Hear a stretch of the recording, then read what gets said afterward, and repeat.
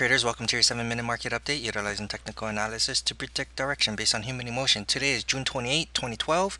Lots to talk about, so let's get started. This is the uh, chart of the SPY, which is the ETF that tracks the S&P 500. I'm going to try and slow it down a little bit so it's not as confusing. Um, but if you uh, look at this chart here with all these lines, um, you should be familiar if you've been following these videos. Let me just save this drawing set here. Alright, so basic essentially what I'm seeing right now is a down move and like we discussed in previous videos we're basically just consolidating um, sidewards uh, before another potential move down. However there is a catalyst and that catalyst was the uh, you know Europe news and that is what we are having now or what we had. Um, so there's uh, issues in Europe, and obviously um, there's good news that came out in Europe, and you know that was the summit thing that we were talking about in the previous video, and um, um, there was some good news, and so that gave a huge, huge pop in the E-mini futures. Um, so basically, let's take a look at that. But before we do that, let me explain to you what happens when you have a pattern that fails okay? So a couple of things. So uh, we talked about uh, like being a chess player we have to be prepared for any move that could potentially happen. The first move that we were preparing for was a, a tag of this 50 moving average as well as this um, you know pivot point up here. Actually this line should be drawn. Let me delete this here. Let me just move this line a little bit down here and then this line should be down here. So a tag of this 50 moving average plus plus this um, pivot point up here was um, and you know a possibility that we talked about in the previous video. Instead today we uh, pulled back. We're down uh, 38 cents. And this you know if you look at the intraday, let's take a look at, uh, at the intraday here. Let's see what happened during the intraday. We gapped down, right? We had this uh, bearish, ugly bearish consolidation, but it was a bearish consolidation here. And then we came down and then uh, that was pretty much over. We kind of just uh, traded to the side. Um, we, you know, we double tested this double bottom. Uh, we tested this double bottom here. And towards the end of the day, boom huge uh, buy-in uh, to the upside. Someone knew something right? This is why we read charts. Someone knew something. There was a possibility uh, I wouldn't make a trade on it but there's a, a high possibility that uh, we would have seen some um, you know upside action in the uh, markets uh, you know in the after hours. So we had a small pullback and it's only because we are in resistance here. And after this big move here you know it's, it's not unusual to see a slight pullback there you know some people taking profits and whatnot. So now let's take a look at the E-mini futures and see what's how that's going to affect tomorrow's trading now remember, as a chess player, you're going to need to still uh, take into consideration the possibilities of um, each move uh, that we're looking at. And the first possibility of the SPY was a tag of that uh, 50 moving average and that pivot point that we just discussed about, you know, 20 seconds ago. Uh, the second thing is the pattern fails. And anytime, like I said in the previous videos, when the pattern fails, it normally is a bigger move. Now, this, this is a chart, a daily chart, uh, I'm sorry, a 10 minute chart of the E-mini futures. Um, and towards the end of the day, just like the SPY, um, we had some resistance around this point here. You know, the E-mini futures is times 10 the SPY. So 1323 is pretty much what the SPY was at. Right, so let's look at the uh, daily chart of SPY is at um, 132.79 times 10 is 1327, 1328, okay? All right, so as we speak, uh, well, as we speak, the markets or the E-mini futures are currently up 20 points. That is a huge, huge pop. All right. This grayish section here is the after hours. Okay, so this was the line that we just drew, this line right here. So the E-mini futures went right into here and had a small pullback. And then they got news boom. Huge huge pop in the E-mini futures. Um, and then you know we're just trading basically sideways. Looks like we've already broken off from the the, the high of the previous uh, which is giving a little bit more strength. So you know if we get another candle up here you know the E-mini futures could have a huge pop a gigantic pop. Now let's just say tomorrow we hold this $20 pop in the E-mini futures.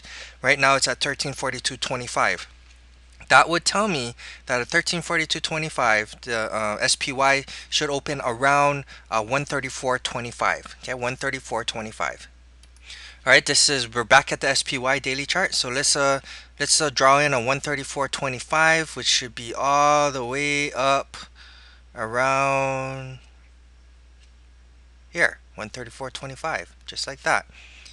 And um, let me uh, move this X out of the way here and uh, let's make this color maybe pink. Alright now let's go to the daily chart. Alright you see this pink line here? Check that out. If it holds 134.25 is going to be precisely the high. Look right here where the high is. When I put my mouse over this candle here the high is 134.25 you see how that perfect it is this level here in my opinion okay? So as a chess player this is this is what I'm going to be thinking. More than likely I'll probably stay out of the market and kind of just monitor it to see uh, what kind of action it's going to have. There's going to be a, a, lot of volatility obviously in the markets tomorrow. Whether it be up or down there will be a lot of volatility. Um, now let me give you different scenarios and I'm going to try and make it so it's better understanding as I'm not all over the place okay? First scenario we gap into this level here okay? I would be very cautious of going long if we gap into this level okay? So say we open at uh, 134.25 then I will be seriously uh, looking for a pullback okay? That's what I'll be looking for. Doesn't mean that i am gonna take the trade but again in the intraday it's something that I'm gonna keep an eye on. I'm sure we're gonna get some sort of intraday pullback at this level here. If we're not already doing that now in the e-mini futures you kind of you can kind of see this pinkish line here um, I don't know if you can see it on this video but um, uh, let me make this line here a little bit longer so we can see where we're talking about. Uh, extend to right. There we go. This this pink line right here okay? Um, so if we, we gap into it then you know I'm gonna look for a pullback. Now if we gap above it meaning we open above maybe $21 and $22 or whatever the case may be. We open above it then my target will be at 135.44 before I initiate another short. Yes this was good news. Don't get me wrong. This is good news. There is upside potential. 135.44 will be my target. Um, uh, another caveat, however, again, I might just stay out of the markets because next week is uh, low volume week, is a presumed to be low volume week. It doesn't guarantee anything, nothing's guaranteed. Um, but normally it's going to be a low volume week because of the uh, 4th of July holiday, which means you have to give the markets an upside bias, meaning you are going to float sidewards to upside during low volume times, as we've seen time and time again, whenever you have low volume in the markets, uh, it's easier for institutions to prop the markets higher, and that's what we've been seeing, and we constantly see that over and over again. It doesn't always happen, but I would say seven out of ten times it does. So you know the odds are in the favor of an upside bias. Would I make a trade on that specific reason alone? No, probably not. But it does help if I'm in a long position right now. Okay. Now, so that's the thing, right? So if we gap into it, I'll look for a pullback. If we gap above it, meaning we open above this level here, then I'll be looking for something around this 135.44. Again, I may actually initiate an intraday long position because next week is a low volume week. Just keep in mind, big news like this, um, you know, it's it's a lot of times it's overrated. It, it, it, a lot of times it won't continue higher. Okay, you just got to keep that in mind. But you have to be cautious, and like a chess player, you have to make sure that you're aware of everything. Okay, now let's just say we gap into this level, um, and then it looks like that uh, the the markets are getting weak. Uh, volume has increased, then I'll probably initiate a, a, a, short trade here, maybe for a day, maybe uh, you know sell it on Monday or Tuesday. Now, if we gap above here and we hit this 135.44 throughout next week now let's just say, for example, we gap over it and then we kind of trade sideways. And the reason why I think that sometimes we trade sideways is such a big move up. Like we're going to go from here all the way up here, right? We open above this, these levels here.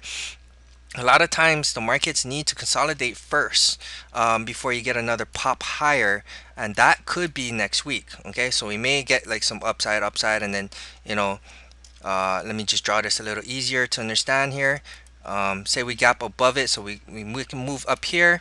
We can uh, we kind of trade sideways throughout next week and then on Friday if we hit this 135.44 level I short that's my plan and that's the way I see it. Now let's just say this $20 move in the E-mini futures does not hold overnight. Some bad news comes out because you know it's it's rumorville right now. Um, they might spit out a rumor out there and then it, it just might crush the markets. Um, and then we continue down. We're gonna have support right at this 200 moving average. Um, we also have this uh, gap window point here which will give pretty good support and then I initiate a long position simply because next week is low volume and it will give an upside bias plus we'll be into pretty good support you see how that's played that's how I'm playing it right now I uh, hope I hope it's easier to understand my plan of attack. Again, before I initiate any trade, I will look at the intraday to make sure that it looks like it's getting weaker or, or a turnaround is, is likely. Um, so you just gotta you just gotta be careful if you're currently short in the market, short in the market right now, like I was. I got stopped out a couple days ago, but if you're currently short right now, make sure you have an in money stop or make sure you have a stop in place because if we hold that twenty dollar mark, uh, it may you know it, it may just crush you if you're short right now.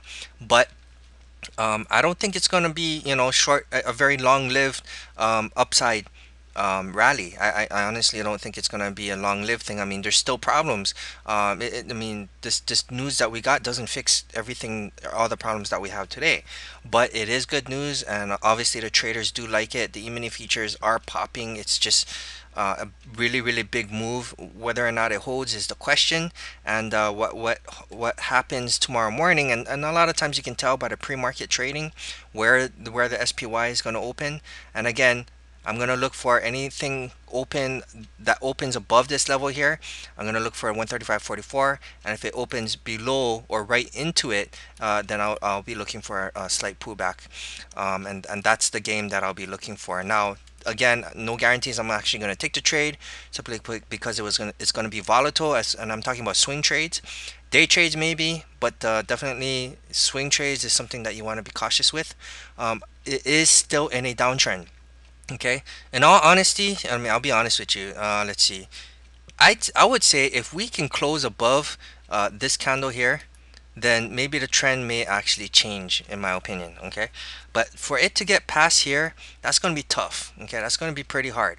Nothing is impossible obviously and um, you know um, nothing's guaranteed. So uh, if we do close above here then I'm going to have to reanalyze these markets and say that there is a possibility that the trend does change because that would give us another higher high right? Okay?